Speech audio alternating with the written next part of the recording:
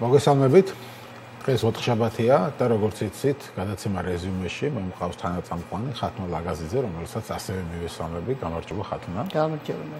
Ну ჩვენ როგორც ხდება ხოლმე ხო ტრადიციულად რეზიუმეს ამ ფორმატში როცა თანაწამყვანი ყავს პირველ ნაწილში გარკვეულ თემებს მიმოვიხილავთ მე და ჩემი თანაწამყვანი ამ შემთხვევაში კაბატონი ხათუნა პარასკევს და თოზურაბიშვილთან ერთად მაგრამ დღეს გვექნება გამონაკლისი გვექნება ორი ინტერვიუ. პირველ ნაწილში შემოგთავაზებთ ინტერვიუს საკმაოდ საინტერესოს და ასევე საკმაოდ საინტერესო ინტერვიუს შემოგთავაზებთ მეორე ნაწილში რომელიც უკვე კაბატონმა ხათუნამ ჩაწერა. თუ ვისთან იქნება ეს ინტერვიუ, ამის შესახებ ხათუნა გეტყვით, მოდი გითხრათ ჩვენს მაყურებელს, ვინ იქნება პირველი სტუმარი და ვინ მეორე. აა, მოგესალმებით, სანამ სტუმრებზე გადავიდოდე, არ შემიძლია არ აღნიშნო საქართველოს პრეზიდენტმა აა, თელი თავის დიპლომატიური გამოცდილება გააცოცხლა და შეიძლება ითქვას, დიპლომატიური ფეიერვერკი დაატრიალა, როგორც თავადი უწება. აა, იტალიაში ვიზიტად გახლავთ ის და არა მარტო ევროკავშირში მოიპოვა იტალიელების თანხმობა, არამედ ნატოში გაწევრიანებაზეც კი დაითანხმა, საქართველოს ნატოში გაწევრიანებაზეც კი დაითანხმა იტალიელები, რაც მართლაც საოცარი რამ გახლავთ, იმიტომ რომ იტალია იყო მთელი ამ წლების განმავლობაში მოყოლებული 2008 წლიდან იმ ქვეყანათა შორის, რომელიც ერთ-ერთი ყველაზე ესეთი რადიკალური მოწინააღმდეგე იყო, თუ შეიძლება ასე ითქვას, საქართველოს ნატოში გაწევრიანებისა, ნატოს წევრი სახელმწიფოების, ნატოს წევრ სახელმწიფოებს შორის. ასე რომ იმედი მაქვს, როცა ის დაბრუნდება უფრო მე დეტალებს შევიტყობ, თუმცა თავად იტალიელებს ამაზე არ განუცხადებიათ, მაგრამ რადგან პრეზიდენტი აცხადებს, მას როგორც ჩანს აქვს ამის საფუძველი. თავისთავად ძალიან სასიამოვნო ფაქტია ეს ერთი და სხვა მრავალი. და პრეზიდენტის დამსახურებასთან ერთად ალბათ იმ ომის დამსახურებაც არის, ხო, პირველ რიგში, რომელიც მიდის უკრაინაში. და ამან შეცვალა ბევრი რამ და შეცვალა მათ შორის იტალიის განწყობა. თუმცა ეხა იტალიის მთავრობის პოზიცია როგორი იქნება, ესეც საინტერესოა. საინტერესოა ამ შემთხვევაში კალატო პრეზიდენტი მხოლოდ იტალიის პრეზიდენტის პოზიციაზე საუბრობს, მთლიანად იტალიის მთავრობის და ასე შემდეგ ბევრი დეტალია, თუმცა საინტერესოა და მნიშვნელოვანი პრეზიდენტის ეს განცხადება. შეხვდა როგორც პრეზიდენტს, ასევე პრემიერს და მაინც ფიქრობ, რომ საერთო განწყობაა. შეიძლება საერთო განწყობა იყოს კი ბატონო. რაც შეეხება ჩვენ სტუმრებს, მართლაც ყავს ორი ძალიან საინტერესო საინტერესო სტუმარი. შეიძლება ითქვას, რომ ჩვენ დღეს შემოგთავაზებთ ხედვას, როგორც აა ფაქტობრივად ორივე სტუმარი არის ამერიკელი, ერთი გახლავთ აზერბაიჯანელი ამერიკელი. თუ შეიძლება ასე ითქვას, ბატონი რამი ზიუნუსი, რომელიც აა წლები იკავებდა მაღალ თანამდებობებს აზერბაიჯანში და ეხლა ცხოვრობს ამერიკაში და არის ერთ-ერთი საუკეთესო ექსპერტი როგორც რეგიონის, ასევე ამერიკის პოლიტიკური ცხოვრების და მეორე გახლავთ საქართველოსთვის კარგად ცნობილი გენერალი ბენ ჰოჯესი, ერთ-ერთი გამორჩეული მეგობარი საქართველოსი, მე ვიტყოდი თავდადებული დამცველი საქართველოს ნატოში გაწევრიანების პერსპექტივის და წინასწარ კვირდებით, რომ უაღრესად საინტერესო ინფორმაციულ ინტერვიუს მოისმენთ ძალიან ბევრი საინტერესო და არასტანდარტული პასუხით. და ეხლა ჩვენ ვერთვებით ბატონ რამის იუნუს და წარვადგენთ მას და შემდეგ უკვე საინტერესო საუბარს შემოგთავაზებთ.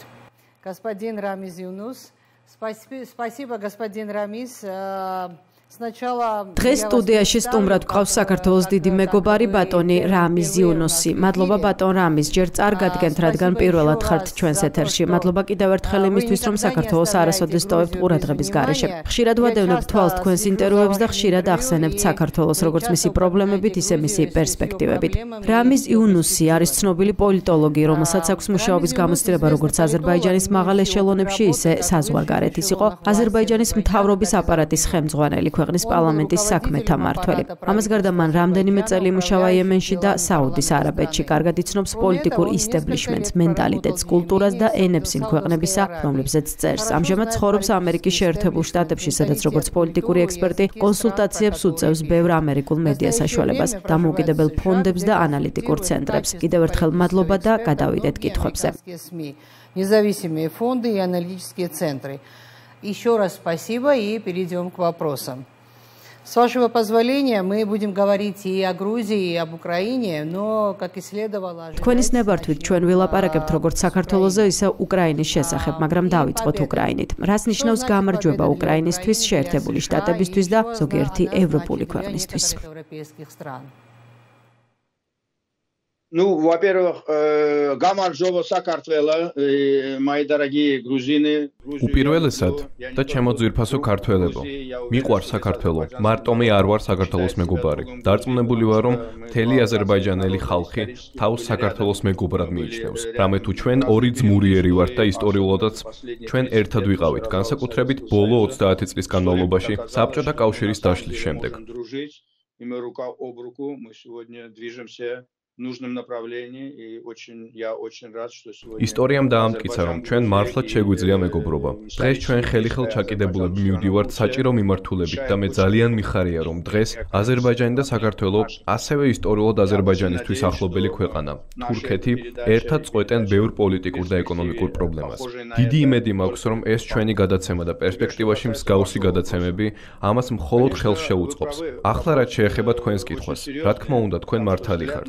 კითხვა ძალიან სერიოზულია, რადგან უკრაინის გამარჯვება ვაშინგტონიდან სრულიად სხვანაირად მოჩანს, ვიდრე უკრაინის გამარჯვება კიევიდან.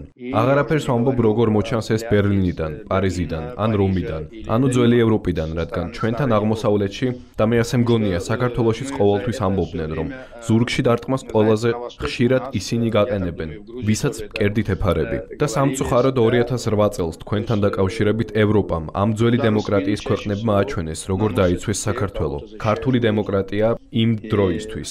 მხოლოდ ლამაზი სიტყვებით და რეალურად არ გააკეთეს არაფერი. ევროპა, вот эта старая страна демократии показали как они защитили Грузию, грузинскую демократию. 2009 წელს პირველ ჩრდილოეთის ნაკადს მოეწერა ხელი. საქართველოს კი აღმოჩნდა ოკუპირებული. ხედულობაში მაქვს აფხაზეთი და ცხინვალის რეგიონი. 2014 წელს მადა ჭამაში მოდის და რუსეთმა იგივე სცენარი გაემეორა უკვე ყირიმში და გააჩაღა ხოცვაჟლეტა დონბასში და მაშინ 2014 წელს ამ დასავლეთმა პირველ რიგში გერმანიამ და საფრანგეთმა ჩრდილოეთ ნაკადი ორი გააკეთეს.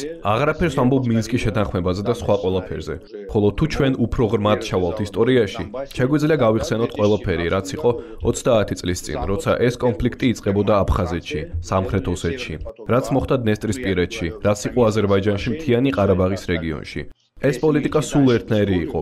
აღარაფერი შეცვლილა. სხვა საკითხია, რომ თქვენ საქართველოს ყველაზე წინ წახვედით პოსტსაბჭოთა სივრცეში, რადგან ისეთი რეფორმები, როგორიც თქვენთან გატარდა სააკაშვილის თავრობის დამსახურებით, სხვაგან არსად არ გაკეთებულა პოსტსაბჭოთა სივრცეში. რეზულტატი კი რა არის? შეხედეთ, პრეზიდენტი სააკაშვილი ციხეში ზის, ხოლო თქვენი მთავრობა უკეთესი სურვილს ტოვებს იმ ღირებულებების დაცვის კუთხით, რასაც პრეზიდენტ სააკაშვილის ხელისუფლება ქადაგებდა. ბოდიშ ვიხდი, რომ ასე პირდაპირ საუბრობ, რადგან ჯობს ყველა ვინმეს თავისი სახელი დაარქვა, ვიდრე გვერდი აუარო. უნდა გვესმოდეს, რომ რაც დღეს უკრაინაში ხდება, ეს ჩვენი ომიცაა, ეს საქართველოს ომიცაა, ეს აზერბაიჯანის და მოლდოვის ომიცაა და მთელი პოსტსაბჭოთა სივრცისაც. Я извиняюсь, что я так буду откровенно говорить по многим моментам, потому что лучше говорить, э, называть вещи своими именами. чем обходить э, стороной. ყველა ეს ქვეყანა სხვადასხვანაირად უყურებს, მაგრამ ჩვენ, რადგან სუამის წევრები ვართ, საქართველოს, უკრაინა, აზერბაიჯანი და მოლდოვა, ჩვენ კარგად ხვდებით, რომ ჩვენ ყველას გვაქვს ტერიტორიული პრობლემები, რომლებიც ჩვენ ხელოვნურად მოგვახვიეს თავს მოსკოვიდან. ამიტომ უკრაინის გამარჯვება უკრაინიდან სრულიად სხვანაირად მოჩანს. ეს არის 2014 წლის მდგომარეობასთან დაბრუნება, არა 24 თებერვლის მდგომარეობასთან. 24 თებერვლის შემდეგ აღმოჩნდა ბუჩა, ირპენი, მარიუ მარიუპოლი და ყველაფერი ის, რაც ჯერ ბოლომდე არ ვიცით, მაგრამ ხვდებით იმის კათოლიცინებით, რომ რუსეთი სულ უფრო ხისტად და ხისტად უფრო აგრესიულად მოქმედებს, თელი ეს დაბომბვები და ყველაფერი დანარჩენი მეტყველებს იმაზე, რომ რუსეთმა ვერ გადაჭრა თელი უკრაინის დაპყრობის სტრატეგიული ამოცანა. და ახლა ვცდილობს, რომ თუნდაც მეორე ეტაპის ამოცანები გადაწყვიტოს დონეცკის და ლუგანსკის რეგიონებში და აქაც მათ ყველაფერი ბოლომდე არ გამოსდით. უკრაინის საზოგადოების წინააღმდეგობა უკვე ისეთი აღარაა, როგორიც იყო 2014-2015 15 წლებში და დასავლეთიც დღეს უკვე სრულიად სხვანაირად იქცევა. ისეც კი აღარ, როგორც თუნდაც 3 თვის წინ. უკრაინამ დღის წესრიგი 180 გრადუსით შეცვალა და თუ ამერიკაზე ვილაპარაკებთ, უკრაინის გამარჯვება ვაშინგტონიდან და კიევიდან სადღაც 90%-ით Military Aid вот, Если вы говорите про США, где-то процентов на 90 победа э, Украины э, и победа Украины с Вашингтона – из Киева, она где-то на 90% совпадает. Единственное, что они ერთადერთი რაშიც მათი ხედვები განსხვავდება ისაა, რომ ამერიკის შეერთებული შტატები ფიქრობს იმ პერსპექტივაზე, რაც ელოდება ამ ტერიტორიას. რუსეთი რომ ხქვია და მათ აღარ უნდათ 91 წლის შეცდომები გაიმეორონ, რადგან 91 წლის შეცდომებმა მოიტანა ყველაფერი ეს 2008 წელიც, 2014-იც და 2022-იც. რამე თუ საბჭოთა ბნელეთის მოციქულობა, ეს დაავადება საბჭოთა ბნელეთის მოციქულობა მეტასტაზების და აგონიის სახით ვლინდება უკრაინაში. მანამდე კი 2007 წლის მერე, როცა მიუნხენში პუტინი გამოვიდა, ამას ყურადღება არ მიაქციეს. იმედი მაქვს, რომ უკვე ხვდებიან, რომ ეს ავადმყოფობა საფუძველშივე უნდა მოიკვეთოს, ქირურგიული მეთოდებით უნდა მოგვარდეს. ერთადერთი ისინი ამომს იყენებენ, როგორც ავღანეთს იყენებდა თავის დროზე დასავლეთის საბჭოთა კავშირის წინააღმდეგ, როგორც რონალდ რეიგანი და მარგარეტ ტეჩერი იყენებდნენ ამას. მაშინ თუ გახსოვთ, რონალდ რეიგანმა ასეთი ფრაზა თქვა: ზოგადად ისტორია გვასწავლის, რომ აგრესორი ომს იწყებს.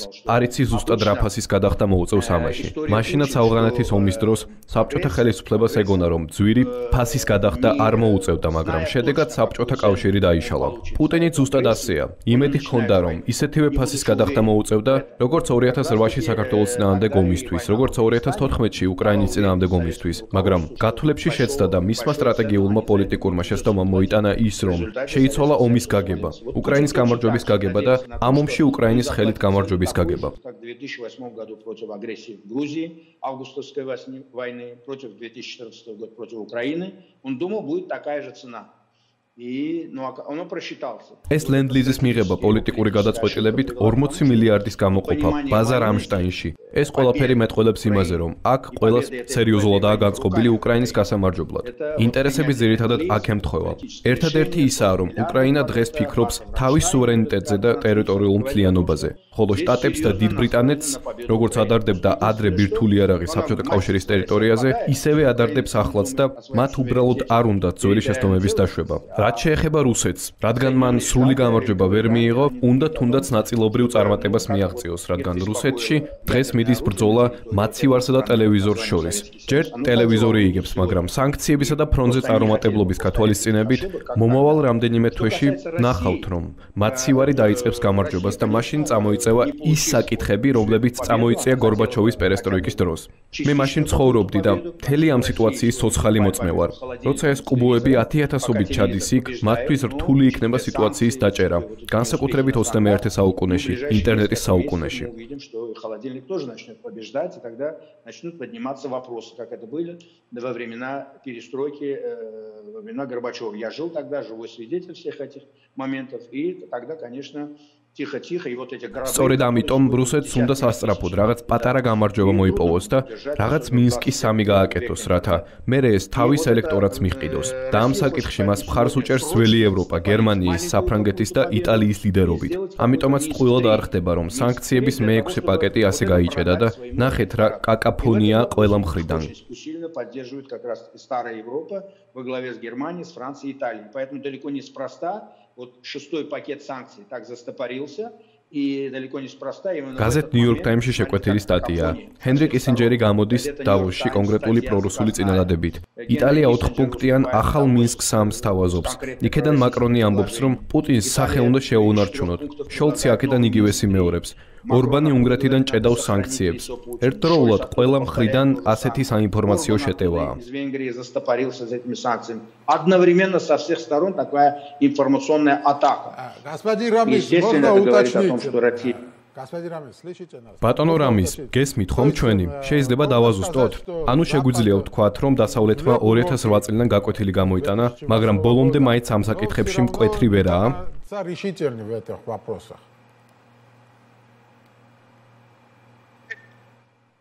Знаете, здесь очень э, важно, вот я, отвечая на ваш вопрос, могу сказать, что если э, кто-то предаст тебя однажды, ამ კითხვაზე საპასუხოდ შემიძლია გითხრათ, რომ თუ ვინმე გიღალატებთ ერთხელ, ეს მისი ბრალია, ხოლო თუ მეორეჯერაც გიღალატებთ, ეს თქვენი. ამიტომ თუ ჩვენ ჩვენ საგარეო პოლიტიკას ასე ავაგებთ, რომ ბოლომდე დასავლეთის იმედი გვექნება, ყველა პოლიტიკოს პოსტსაბჭოთა სივრცეში ელის მიხელ სააკაშვილის ბედი. ადამიანის, რომელსაც მე ძალიან დიდ პატივს ვცემ და საბოლოო ჯამში თბილისის ცენტრში ადრე თუ გვიან მისი ძეგლი იდგება, მაგრამ მეორე საკითხია, რომ ჩვენ უნდა გვესმოდეს რა უნდა ამ დასავლეთს. დასავლეთი ერთსახოვანი არაა, ეს კოლექტიური დასავლეთი დავყავი. როგორც ამბობენ დღეს, კრემლის კოშკებიც სხვადასხვანაირია. ასევე დასავლეთში ყველაფერი განსხვავებულია. ანგლოსაქსები, ინგლისი და ამერიკა სრულიად სხვანაირად უყურებენ მთელი ამ ტერიტორიის მომავალს. ძველი ევროპა სრულიად სხვანაირად ხედავს. 20 წლის განმავლობაში პუტინმა ისინი ყველა იყიდა. კორუფციული შემადგენელი იქ. ჩვენ მხოლოდ აისბერგის ზედა ნაწილს ხედავთ. ეს წინააღმდეგობა, ეს ლობიზმი, ყველაფერი მეტყველებს იმაზე, რომ იქ ჯერ კიდევ უზარმაზარი ფული ტრიალებს. Эти деньги в США не вращаются. ეს ფული ამერიკაში არ ტრიალებს, ამიტომ ამერიკაზე მათ გავლენა არ აქვს და ძალიან კარგია, რომ ამ საკითხში წინააღმდეგობის და უკრაინის დახმარების საკითხში აქტიურ როლს პირველ რიგში ამერიკა თამაშობს და მას მხარს უბამს დიდი ბრიტანეთი, რომელმაც დატოვა ევროკავშირი და უნდა დაიბრუნოს ის როლი, რომელიც ჰქონდა ჯერ კიდევ საბჭოთა კავშირის და ამერიკის დაპირისპირების დროს, ცივი ომის პერიოდში. в эпоху холодной войны А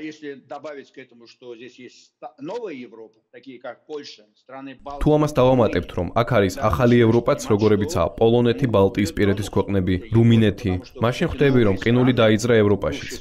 რადგან ახალი ქვეყნები, ვარშავის შეთანხმების ყოფილი ქვეყნები, პლუს ბალტიისპირეთის ქვეყნები, მათ საკუთარ ტყავზე გამოსცადეს რა არის რუსეთის იმპერია, რა არის საბჭოთა კავშირი, რა არის 56 წელი უნგრეთში, 68 წელი ჩეხეთში, 80-იანი წლები პოლონეთში და ყველაფერი დანარჩენი. რაც ჩვენ გვინახავს, ხო? აღარაფერს ვამბობ მეორე მსოფლიო ომის ისტორიაზე. როგორ დაიწყო ის? Европе. Я уже не говорю про историю Второй мировой войны, как она начиналась. Это же ეს ხომ ნამდვილი დეჟავუა. ასეთივე იყო მიუნხენის შეთანხმება, როგორც ახლა. გერჰარდ შოიდერი, ანგელა მერკელი, სარკოზი, ოლანი, მაკრონი, ესენი ხომ თანამედროვე დელადიე და ჩემბერლენები არიან. 80 წელია არაფერი შეცვლა. 80 лет ничего не поменялось. ამიტომ, როდესაც თქვენ გინდათ, რომ მე შევაფასო, მე ამას ამ თვალთა ხედვიდან ვაფასებ. სხვა საკითხია, რომ სიტუაცია შეიცვალა. ყველაფერი შეცვალა სწორედ უკრაინამ, არა დასავლეთმა, არც ამერიკამ, არც დიდმა ბრიტანეთმა. გთხოვთ ეს კარგად გაიგოთ. не США и не Великобритания. Прошу это четко понять. სამი თვის წინ უკრაინის პრეზიდენტს თვითფრინავს თავაზობდნენ, დანებებას თავაზობდნენ. დასავლეთი ემზადებოდა, რომ რუსეთი დაიპყრობს ამ ყველაფერს და კვლავ წავლენ რაღაც მორიგებაზე, რაღაც მიუნხენის შეთანხმებაზე და გააგრძელებენ თავიანთი ბიზნესის კეთებას.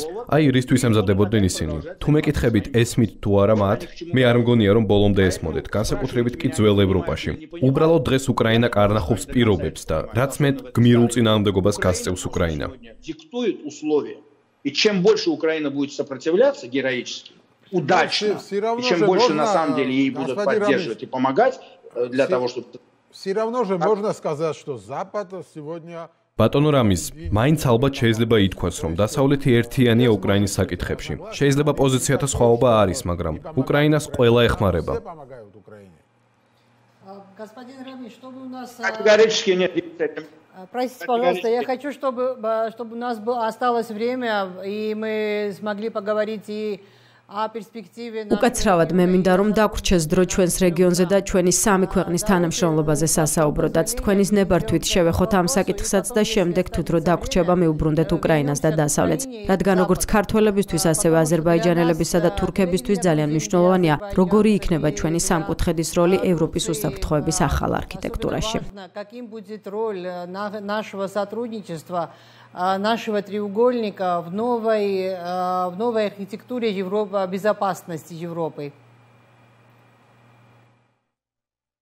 Репликой там отвечу. Не, Запад однозначно неоднородный. И если мы будем делать ставку вот так на единую позицию этого Запада, мы окажемся в ужасной ситуации. И Грузия, и Азербайджан, и все страны. რაც შეეხება ბატონი მერაბის კითხვას, დასავლეთი არ არის ერთიანი და თუ ჩვენ ჩვენს პოლიტიკას ალაგებთ იმის დაშვებით, რომ დასავლეთი ერთიანია, ჩვენ აზერბაიჯანის და საქართველოს და ყველა პოსაბჭოთა ქვეყანა საშინელ დღეში აღმოჩნდებით. შეხედეთ ყარაბაღის მეორე ომში ვინ უჭერდა მხარს აზერბაიჯანს? დასავლეთიდან არავინ, არც ამერიკა, არც ევროკავშირი, არც ეუთოს მინსკის ჯგუფი. სადაც საფრანგეთს ჰქონდა წამყვანი როლი. აღარაფერს ამბობ რუსეთზე. აზერბაიჯანს მხარი დაუჭირა თურქეთმა, პაკისტანმა, ისრაელმა, პოლიტიკურად უკრაინამ და საქართველომ. ანუ ჩვენ ერთ სანგარში ვზივართ. ერთი პრობლემა გვაქვს, მაგრამ რა თქმა უნდა, მთავარი როლი თურქეთის ქოლგამ შეასრულა და პაკისტანის როგორც ატომური სახელმწიფოს ხარდაჭერამ. В результате Азербайджан остался один на один с Арменией, и Азербайджан победил. Поэтому ამიტომ თუ ადრე მხარს უჭერდით ნატოს და ევროკავშირში გაწევრიანებას, ახლა ამის წინააღმდეგი ვარ, რადგან ვხედავ როგორია მათი პოლიტიკა უკრაინის მიმართ. დიდად თავს არიკლავენ მისი დაცვით, ქვეყნის რომლის კონსტიტუციითაა აღიარებული ევროატლანტიკური კურსი. ამიტომ თუ ჩვენ პერსპექტივაზე საუბრობთ, მე უფრო მომწონს ბორის ჯონსონის წინადადება. ბრიტანეთმა ხომ დატოვა ევროკავშირი და ახლა ისინი ამბობენ, რომ საჭიროა ახალი პოლიტიკურ-ეკონომიკურ სამხედრო ალიანსი ბრიტანეთის, პოლონეთის, უკრაინის, ბალტიის ქვეყნებისა და თურქეთის შორის, რომელსაც მე დავამატებდი საქართველოს და აზერბაიჯანს. დღეს საქართველოს, აზერბაიჯანი და თურქეთი მშვენივრად თანამშრომლობენ ყველა მიმართულებით. იქნება ეს პოლიტიკური, ეკონომიკური თუ სტრატეგიული. თქვენი აჭარა ამ თანამშრომლობის კარგი მაგალითია. Польшей, странами Балтии, Украиной, Турцией, и вот туда бы я добавил бы и Азербайджан, и Грузию. В перспективе. Сегодня Азербайджан, Грузия и Турция прекрасно работают по всем направлениям, по политическим направлениям, по экономическим направлениям. ამიტომ აზერბაიჯანის გამარჯობა, თუმცა არა საბოლოო. ამიტომაც აზერბაიჯანი ცდილობს თავისი უპირატესობა გაზარდოს, მაგრამ საბოლოო ჯამში ყველა ჩვენს, თქვენს, მოლდოვაც ელოდება უკრაინაში ომის დასრულებას, რადგან რუსეთის წაგება ნიშნავს, რომ როგორც შამპანიურ საცობი, ისე გავარდება რუსეთი როგორც მთიანი ყარაბაღიდან, სადაც მისი ჩექმის ქვეშ 5%-ია, ისევე აფხაზეთიდან, სამხრეთ ოსეთიდან და დნესტრისპირეთიდან. თუ ეს საკითხი არ მოგვარდა, რუსეთი მუდამ იქნება ჩვენთვის როგორც ფითილი, როგორც მუდმივი მოქმედების ნაღმი. და ეს მოცემულობა მუდმივად დაგხვევს უკან, როცა საქმე ეკონომიკურ განვითარებასა და პერსპექტივებს შეეხება. ამიტომ ყველა ელოდება რუსეთის საკითხის გადაწყვეტას. სხვაგვარად, ჩვენ, სამი ქვეყანა, ისევ დავრჩებით სეპარატული თანამშრომლობის რეჟიმში, რაც თავისთავად ცუდი არ არის, რადგან ჩვენი პარტნიორობა ნატოს მეორე არმია, ის ეფექტური ხოლგაა და რუსეთი უკვე შეეგუა იმას, რომ თურქეთი როგორც ნატოს მეორე არმია შემოსულია ჩვენს რეგიონში და რაც უფრო მეტი ეკონომიკური და სტრატეგიული ინტერესი ექნება თურქეთს ამ რეგიონის მიმართ, მით უფრო დაიცავს ამ რეგიონის ინტერესებს. Как вот Турция, Азербайджан и Грузия. Но опять же это хорошо, это вторая армия НАТО, это хороший зонтик, и Россия с этим уже смирилась, потому что Турция уже пришла в этот регион. И чем больше Турция будет в этом регионе, тем сильнее, сильнее будут თურქეთი მზად არის სომხეთთან ურთიერთობების აღდგენისთვის და დგამს ამ მიმართულებით ნაბიჯებს, თუმცა გარკვეული ძალები მათ შორის დასავლეთში, საფრანგეთსა თუ ამერიკაში, კალიფორნიაში, აღარაფერს ამბობ რუსეთზე, არ არიან დაინტერესებულნი ამ ურთიერთობების გაუმჯობესებით. იმისათვის, რომ ეკონომიკური აღმავლობა იყოს წამყვანი ინტერესი ჩვენს რეგიონში, ურთიერთობების ფორმირებისას და არა ვიღაცების პოლიტიკური ინტერესები. Я уже не говорю про Россию, которые не заинтересованы в улучшении этих отношений для того, чтобы экономика пошла вперед, а не политика. Поэтому сегодня, к сожалению, все замкнуто. პოზიციო აზერბაიჯანა ხაჩუ ბატონო რამის მინდა გკითხოთ აზერბაიჯანის პოზიციის თაობაზე ამ ომში რამდენად ნათელია აზერბაიჯანის პოზიცია აზერბაიჯანი თითქოს რუსეთსაც უგორებს კოჩს как бы заигрывает и с россией тоже да Отвеч... Э, спасибо за вопрос, очень хороший вопрос. Позиция Азербайджана, она намного яснее, чем позиция многих стран на постсоветском пространстве. კარგი კითხვაა. აზერბაიჯანის პოზიცია უფრო ნათელია ვიდრე ბევრი სხვა ქვეყნის პოსტსაბჭოთა სივრცეში. აზერბაიჯანმა ყველაზე მეტი ჰუმანიტარული დახმარება გაუწია უკრაინას ყოფილი საბჭოთა რესპუბლიკებს შორის. შვიდი თვითმფრინავი ჰუმანიტარული ტვირთი გაიგზავნა. ეხმარება ენერგორესურსებით და ამასთან უკრაინის პრეზიდენტი ტყუილად არიტყვა და მადლობას აზერბაიჯანელ კოლეგას. როგორც გახსოვთ, ზელენსკი მადლობა გადაუხადა თურქეთის და აზერბაიჯანის პრეზიდენტებს. უკრაინის წინააღმდეგ რუსეთის ომის დაწყებიდან მალევე ბაქოში გაი გაიმართა უკრაინის ხარდამჭერი 50000-იანი მიტინგი უზარმაზარი აზერბაიჯანის ყოლობაზე. მოგეხსენებათ, აზერბაიჯანში მიტინგები არ იმართება ხელისუფლების ნებართვის გარეშე. ესე იგი, ნებართვა გაიცა ასეთი მიტინგის ჩატარების. რაც შეეხება რუსეთისთვის კოჭის გორებას, ვინ არ იქცეოდა ასე ამ ომამდე. თვით ჯო ბაიდენიც კი საფრანგეთი, გერმანია დღემდე ურეკავენ და ეკონტაქტებიან. შეხედეთ მათ ეკონომიკურ ურთიერთობებს და ამის მიუხედავად აზერბაიჯანმა გადასარევად იცის, რას წარმოადგენს რუსეთი. საკუთარ ტყავზე გამოსცა და 200 წლის განმავლობაში упомянул и Джо Байден заигрывал еще перед этой войной. Франция, Германия по сегодняшний день созваниваются и заигрывают. И много другого. Плюс посмотрите на их экономические взаимоотношения с, э, с ними. Азербайджан просто прекрасно знает, что такое Россия. 200 лет знает на своей шкуре. Э, две части Азербайджана, большая часть осталась э, в нынешнем Иране. Поэтому я плюс не говорю уже про 1918-20. აზერბაიჯანის დიდი ნაწილი დღევანდელ ირანს დარჩა. აღარაფერს ვამბობ 1918-1920 წლებზე. ყველა მიცის ამის შესახებ პოსტსაბჭოთა სივრცეში. ამიტომაც გასაგებია, რომ ყველა შიშით და სიფრთხილით ვიყურებით რუსეთის მიმართულებით. აზერბაიჯანული საზოგადოება უკრაინის მხარდამჭერია.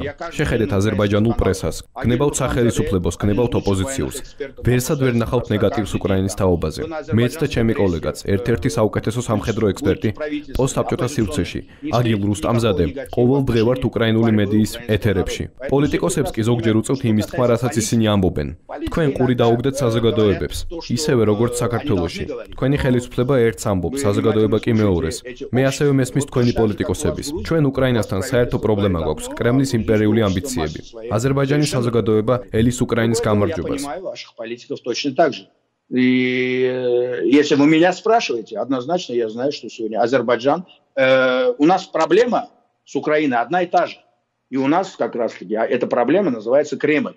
Это э, имперские амбиции того же Кремля. И потому все азербайджанское общество однозначно ждет победы. И сделает просто то, что не может იმას, რის თქმასაც ვერ ბედავს აზერბაიჯანი, ამბობს თურქეთი. აზერბაიჯანი თავის საგარეო პოლიტიკაში მჭიდრო ტანდემშია თურქეთთან ყველა საკითხში.